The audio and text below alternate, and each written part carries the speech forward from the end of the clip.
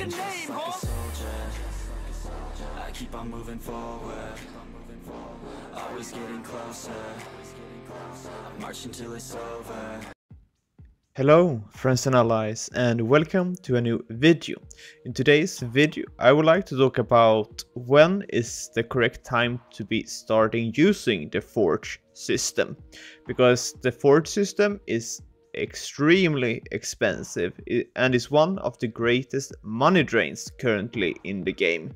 So when is the correct time to be starting using the Forge? And thanks to one of my friends who made an amazing spreadsheet, we can be checking the value of using the forge directly, depending on the value of the item which you are forging and the cost of silver on your server. So let's put the value on the cost of silver on 20 and one item costing 3 KK. Let's say the Cobra crossbow. Then we can see the class 4 items jumping, depending on and let's put in a lion plate for that instance. Then we can also see how it jumps again and see the value of the 65% success rate. Then we know it's really expensive with the forge. And the calculator with the 65 percentage success rate gives us a good average what it will cost in the long run since in 2 out of 3 times you should be succeeding ready much. But it also gives us an indication that it can be highly expensive. So, a first question which you need to ask yourself is where are you going to be hunting or where which bosses are you going to do? Which item will give you the most value by using the forge? A person like me who enjoys trying a lot of different spots. It would be a bad investment to be using the forge system before you have all the items.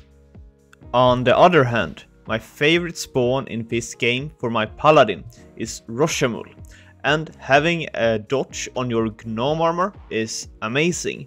And gnome armor also have a higher amount of physical protection than a soul shell. So the gnome armor is slightly better than having the soul shell in the area like this. So buying a soul shell if you are only hunting Rosha will be a bad investment. And it might be better putting in some money into the forge system in trying to get a gnome armor in a higher tier in relation to be buying all items. And the issue with using the forge system like an item like the Gnome Armor is that the Gnome Armor might not be useful in all areas. Like here, I would prefer using my Ghost Chestplate with some Earth Protection Imbue instead. And also on my Rosha character I have a slightly forged Soul Bleeder, but going here making some bosses, that investment will be useless.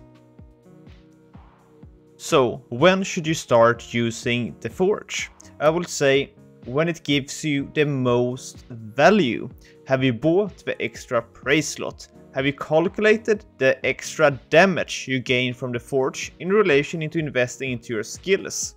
Can you afford buying experience boost every day? Can you can you afford using praise every day? Because you might be gaining more damage from being higher level in relation to be using the forge. Because some of the items like you will directly go up to 100 kk within a couple of forge trials. So it is really expensive. And you always need to remember that investing into your skills is never a gamble. But using the forge, you are gambling with your money and you might you might not gain anything from using the forge. So it is a really dangerous investment.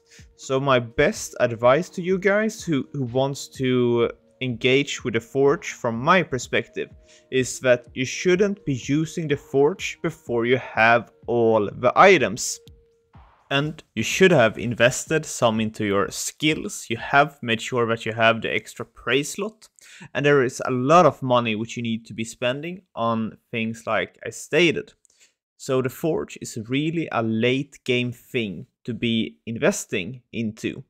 I think the Rosha example is a good uh, example when it could be worth using the Forge a little bit earlier.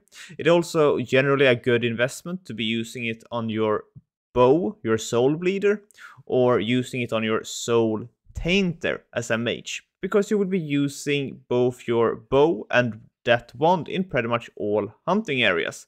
While if you are a knight, you you might be swapping your weapon pretty often. So the forge is a little bit of like you know, your playstyle is dependent on when you should be using the forge and how much money you have in the game. The forge is for the rich and wealthy. And the value that you gain from the forge is rather low. But the first item which I will be using uh, for the forge will be my Gnome armor or a soul bleeder as a paladin because the soul bleeder you will be using in pretty much all spawn. And since my favorite hunting area is Rosha the gnome armor is a rather cheap investment for using the forge. Anyways thank you guys very much for watching. And if you haven't done so yet please like the video and subscribe to the channel. It really helps me out. Thank you guys very much for watching